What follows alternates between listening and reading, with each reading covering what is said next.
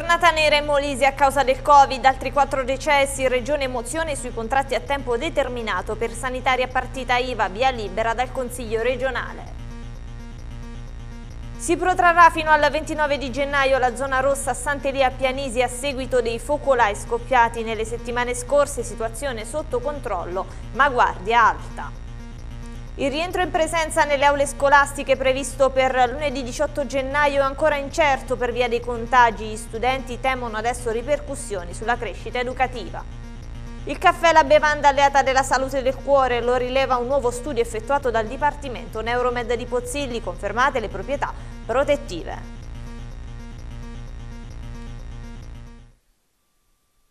Buonasera a tutti e ben ritrovati con l'informazione del telegiornale della sera di TLT. Andiamo a vedere eh, come di consueto i dati riguardanti l'aggiornamento Covid, giornata nera per il Molise a causa eh, della pandemia, decedute altre quattro persone, sale così a 226 il numero dei morti in questa eh, seconda ondata pandemica. I positivi sono invece 39 in lieve diminuzione, ancora pressione pressione invece all'interno dei nosocomi della regione per quanto eh, riguarda i ricoveri, eh, invece guardando il dato nazionale sono 17.246 nuovi casi di contagio, il tasso di positività si attesta al 10,7% in eh, lieve aumento rispetto alla giornata di ieri e nelle ultime 24 ore eh, ci sono stati altri 522 decessi calano invece di 22 unità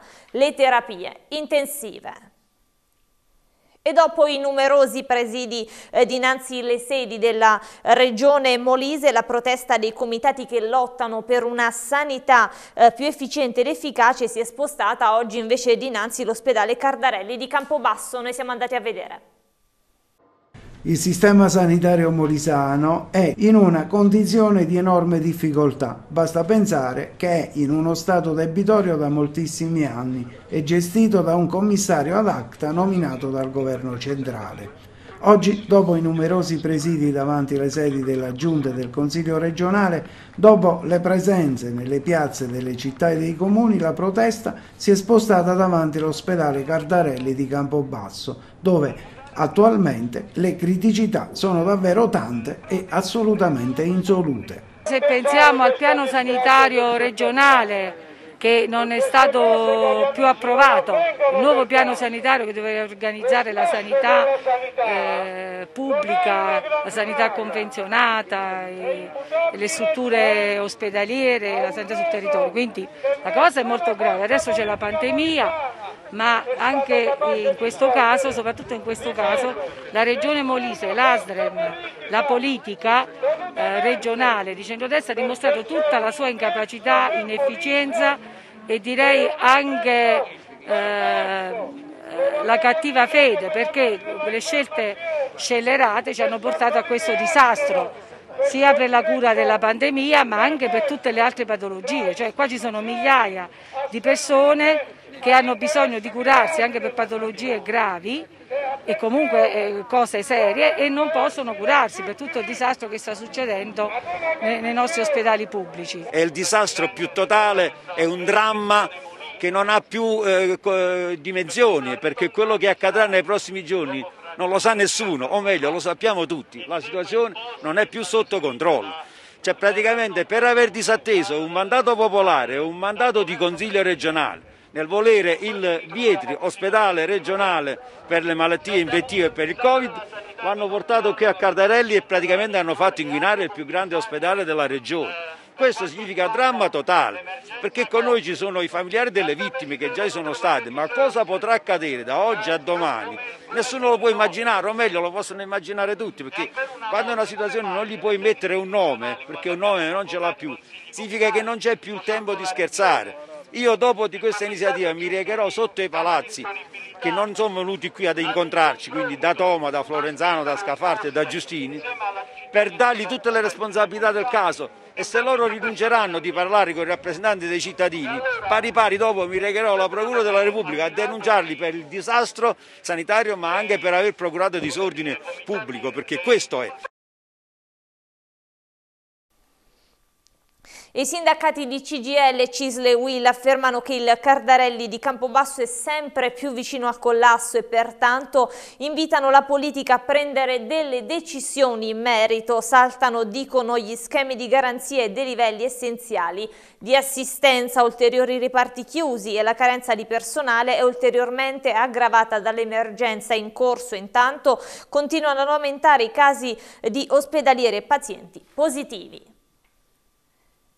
E anche un nuovo presidio oggi si è verificato dinanzi la sede del Consiglio regionale a Campobasso. Il sindacato USB è sceso in campo in protesta in difesa di infermieri e operatori sanitari assunti a partita IVA. Chiesta la stabilizzazione. Ma andiamo a vedere. Evidentemente per fare fronte all'emergenza pandemica il primo investimento che è stato indicato dal governo centrale già a partire da marzo era quello di fare delle assunzioni straordinarie per appunto affrontare l'emergenza pandemica.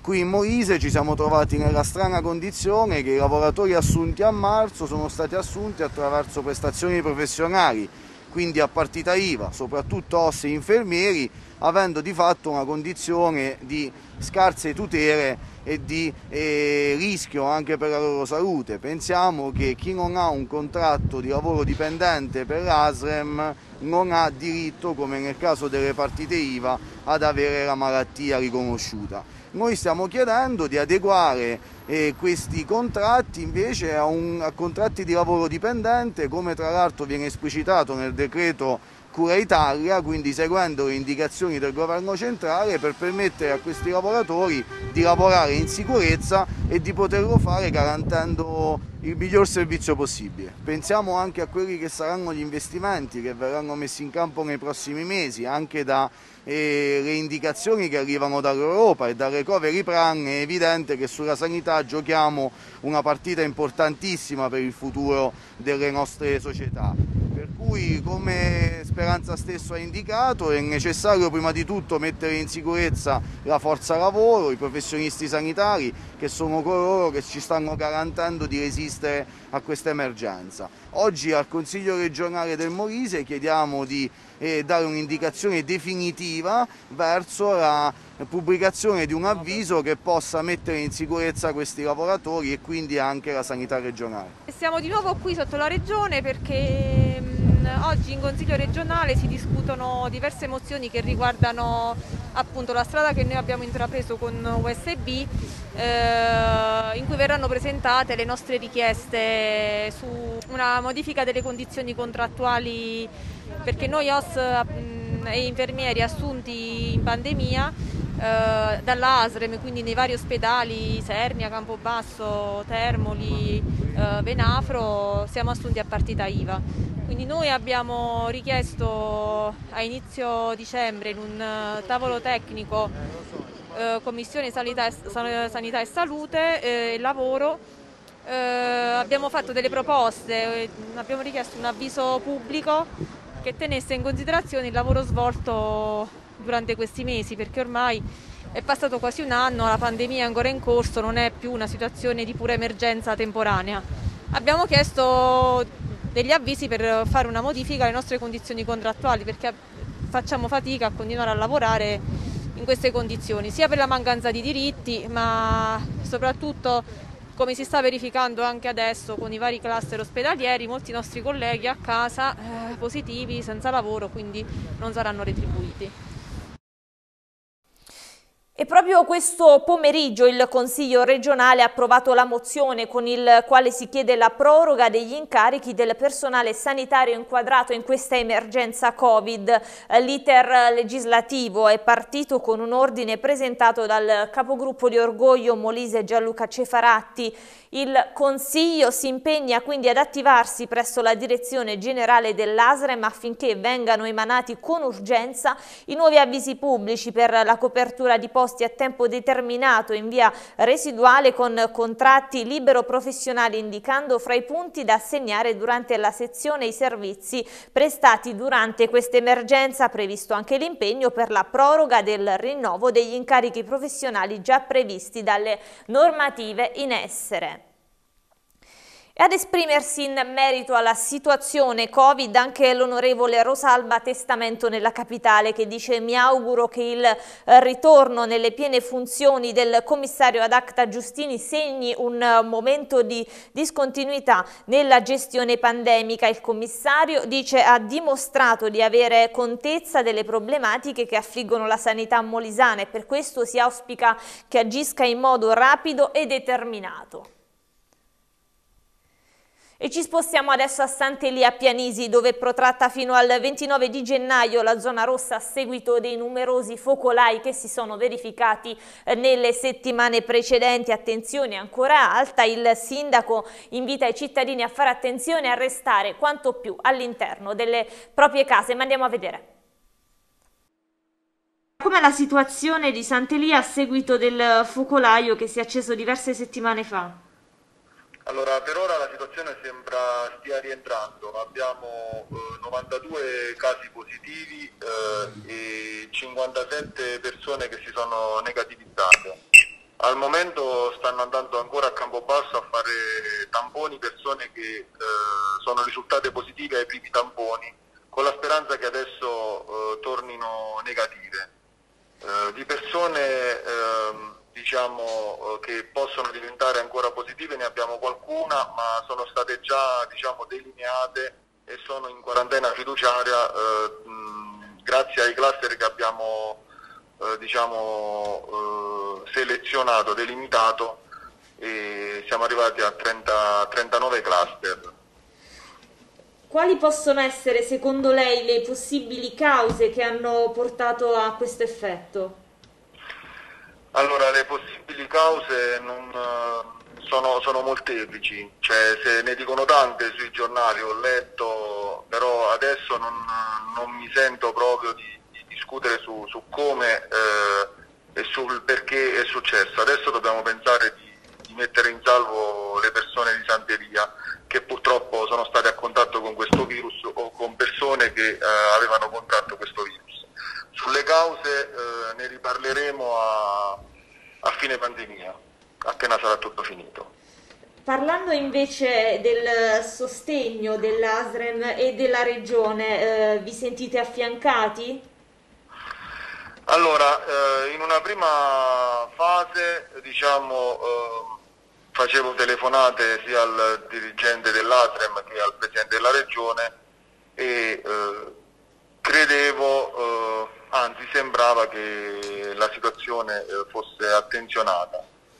Eh, purtroppo eh, in, in, questa fase bisogno di, di un, avremmo bisogno tutto quanto il Paese di un po' di, di sostegno in più e, di quello che ci, che ci è dato. Un, un riconoscimento e un ringraziamento però va fatto a tutti gli operatori dell'ATREM perché eh, sono, ci sono molto vicini, rispondono sempre, eh, ci richiamano, eh, collaboriamo perché sono veramente molto attenti tutti.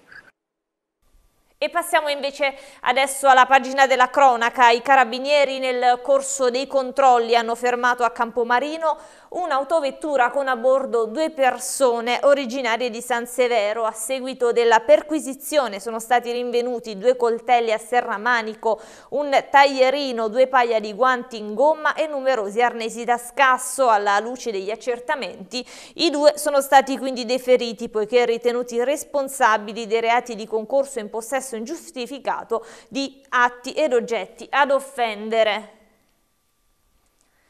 E la polizia di Campobasso invece ha fermato una macchina che però alla vista degli stessi si era data alla fuga. A seguito di un breve inseguimento è stato poi fermato il mezzo con a bordo un giovane. Il 27enne è stato poi però condotto in questura dove è stato sottoposto a perquisizione. Anche la sua auto sulla quale viaggiava è stata inquisita e a bordo della stessa è stata rinvenuta una quantità di sostanza stupefacente. Pertanto lo stesso è stato segnalato alla prefettura ed è stata elevata una contravvenzione per non essersi fermato.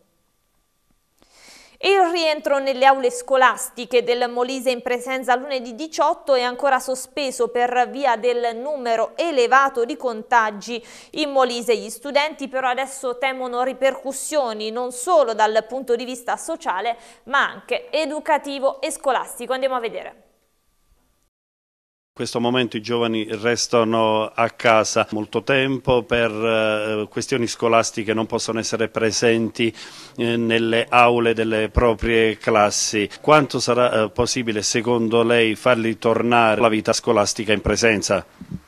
Guardi, noi abbiamo come, ehm, come linea eh, di arrivo il 18, il 17 di gennaio dal 18 dovremmo ripartire con la scuola in presenza, noi vorremmo ripartire con la scuola in presenza, dipenderà molto dall'andamento di questa pandemia. Noi abbiamo i dati giornalmente sotto controllo, stiamo cercando di ridurre la curva dei contagi in Monise quanto più possibile, il Monise non è tra le regioni più svantaggiate in Italia sotto questo profilo, però noi abbiamo la necessità di scendere, se ci riusciamo, eh, sarà un grande obiettivo, al di sotto di quel fatidico 1 dell'RT, il, il tasso di contagio, in maniera tale che il 18 si potrà ripartire a scuola in presenza e questo consentirà ai giovani anche di praticare nei limiti del possibile, seguendo le regole, l'attività sportiva.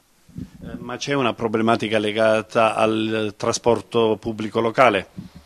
Guardi, i prefetti di Sernia e di Campobasso hanno fatto un gran lavoro coordinando i tavoli eh, proprio dedicati al trasporto pubblico locale e alla riapertura delle scuole. Noi siamo pronti a ripartire, direi anche al 100% volendo, perché sono state previste ulteriori corse eh, e questo ci, ci fa stare più tranquilli perché potremo trasportare studenti, ma non solo, anche pendolari, con una percentuale di riempimento sostenibile che non dovrebbe superare il 50%. Il sindaco di Campobasso, Roberto Gravina, ha emesso l'ordinanza per l'accesso al transito nel centro cittadino degli autobus aggiuntivi per il trasporto pubblico extraurbano riservato agli studenti. Sulla base delle indicazioni della prefettura, oltre al potenziamento delle corse, autorizza la fermata dei mezzi in via Scardocchia dinanzi liceo classico in viale Manzoni all'altezza del parcheggio dell'università, istituendo anche una nuova fermata autobus in via Gazzani di fronte alla casa circondariale con conseguente divieto di sosta ai veicoli. E restiamo sempre nel tema della sanità, nel nostro focus settimanale in onda alle 21 di questa sera, i dottori eh, Cosimo Dentizzi ed Ernesto La Vecchia con i quali parliamo dell'attuale situazione Covid, dei vaccini e soprattutto del futuro della sanità. Ci informano, andiamo a vedere un estratto. Continuare a prestare attenzione, continuare a mantenere, a, a mantenere, il distanziamento, continuare a tenere le mascherine, continuare a lavarsi le mani e anche una volta vaccinati noi possiamo essere, anche se vaccinati, possiamo essere portatori di virus, quindi anche le persone vaccinate devono continuare a prestare attenzione. E poi l'appello che faccio Uh, non ai politici, perché ai politici è inutile fare l'appello, perché oramai i politici stanno per fatti loro, cioè ragionano, ragionano a modo loro. L'appello che faccio ai cittadini di riprendere in mano la questione della sanità e ricordiamoci che la riforma sanitaria è stata fatta dai cittadini, è stata fatta in virtù di grossi scioperi che sono stati fatti per la riforma sanitaria e se vogliamo una sanità migliore i cittadini non dico che devono riscendere per forza in piazza, ma devono, la, devono far sentire la loro voce in tutti i social network, dappertutto, per far sì che questa sanità possa essere dignitosa di nuovo. Ecco un'altra parola chiave, la dignità. Mm, sicuramente non posso che non essere d'accordo con quello che Mino ha detto, eh, quindi protezione, attenzione massima eh, è fondamentale. Eh, vacciniamoci tutti perché naturalmente per poter raggiungere quello che si chiama immunità di gregge abbiamo la necessità di superare il 70% dei vaccinati e eh, sul discorso della dignità abbiamo già parlato abbastanza e quindi e soprattutto fidatevi praticamente dei vostri medici di medicina generale, di continuità assistenziale, cioè dei medici del territorio, dei medici dell'ospedale, non sono la vostra controparte. La vostra controparte, ammesso che si possa chiamare così, è solo la politica e quella dobbiamo pensarci tutti quanti insieme per poterla governare al meglio. Il paese di Rotello è in lutto per la scomparsa del sindaco Michele Miniello. L'uomo è deceduto dopo essere stato ricoverato al San Timoteo di Termoli, pare a causa di un malore. Il cordoglio ai familiari da parte della redazione. E parliamo adesso dell'emergenza cinghiali. Aida Romagnolo ha chiesto in Consiglio regionale che vengano messe in atto delle ulteriori misure urgenti volte alla tutela dei cittadini. La Presidente della terza Commissione ha evidenziato lo stato di emergenza causato dall'aumento incontrollato degli ungulati presenti sul territorio regionale che stanno mettendo in ginocchio anche l'intero settore agricolo.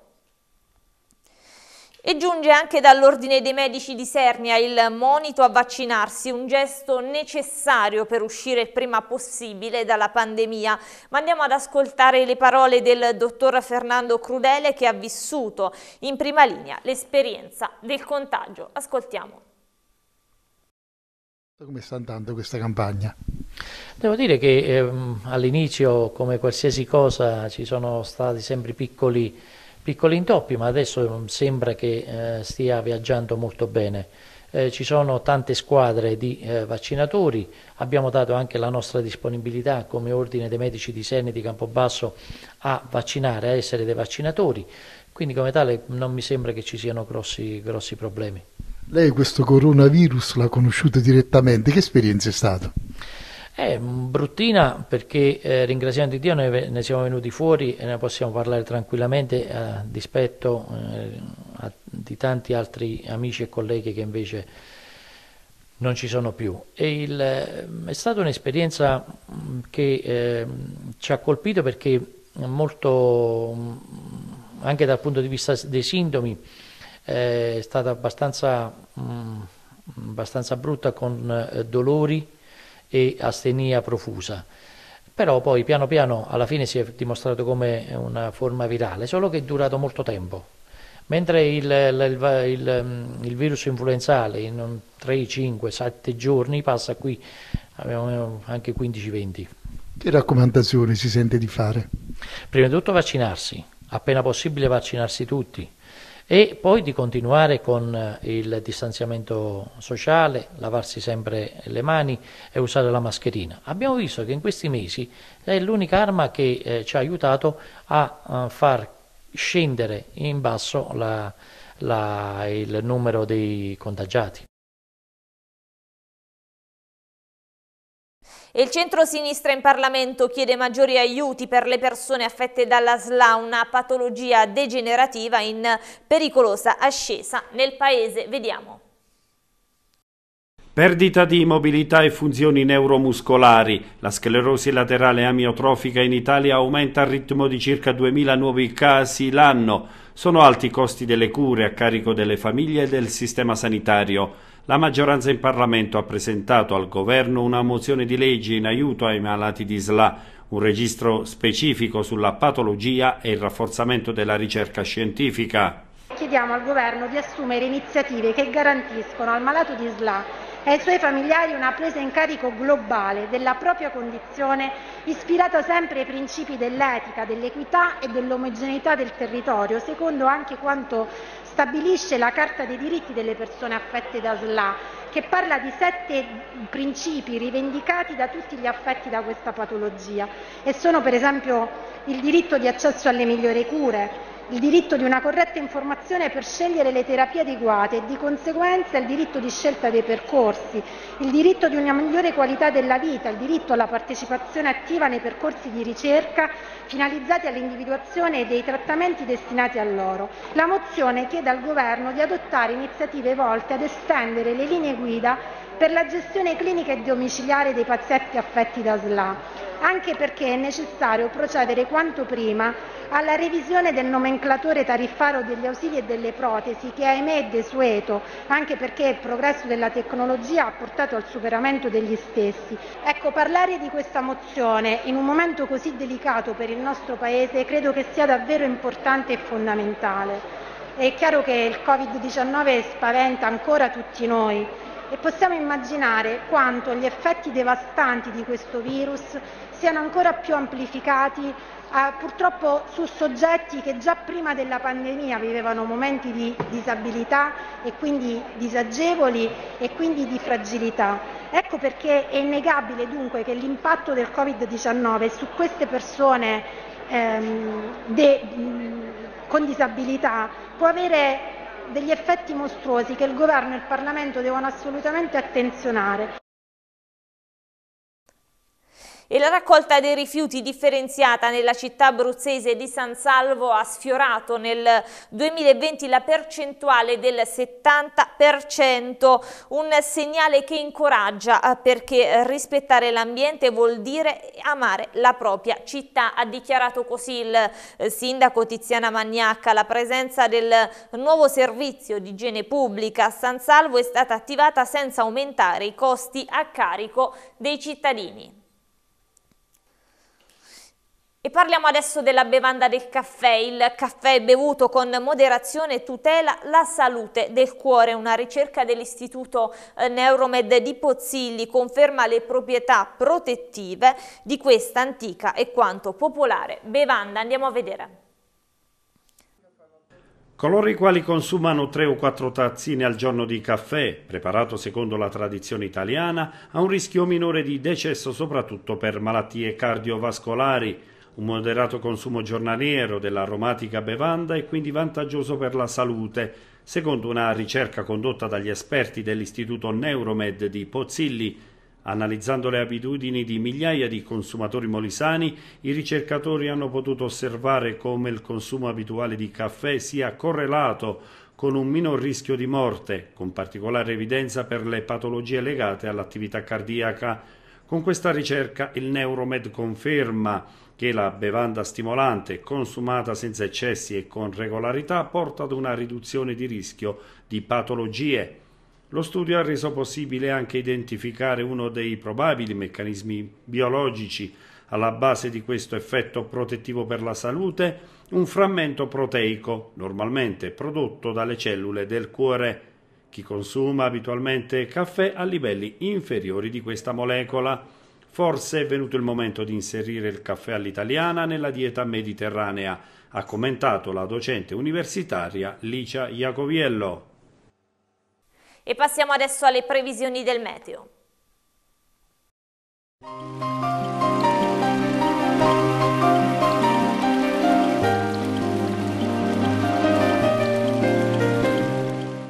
La gamma commerciale, tutta l'energia che ti serve, specialisti delle batterie e degli accumulatori e in Viale Olanda nella zona industriale di San Salvo.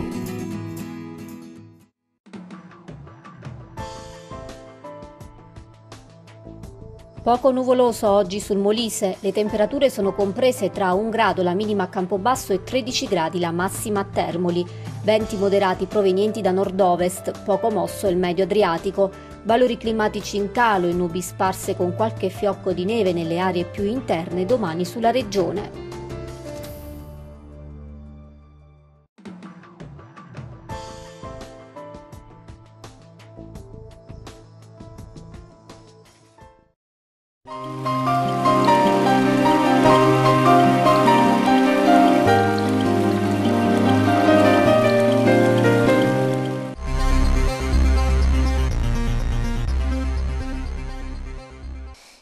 La sconfitta nell'anticipo della sedicesima giornata, la Magnolia Campobasso di pallacanestro femminile di A1 resta a 10 punti in classifica. Ma andiamo adesso a vedere il quadro completo. Vediamo la classifica di Serie 1 della pallacanestro femminile, Umana Venezia 32, Bologna Basket Schio 24, Ragusa 22, Empoli, Sesto San Giovanni, San Martino di Lupari 16, Costa Masnaga 14, Magnoli a Campobasso 10, Bruni 93 8, Dinamo Sassari 6, Le Mura Lucca, Vigarano 2, Battipaglia 0. E con questo è tutto per stasera, termina qui l'edizione del telegiornale di TLT. Io come sempre vi ringrazio per la cortese attenzione e vi auguro un buon proseguimento di serata. Arrivederci.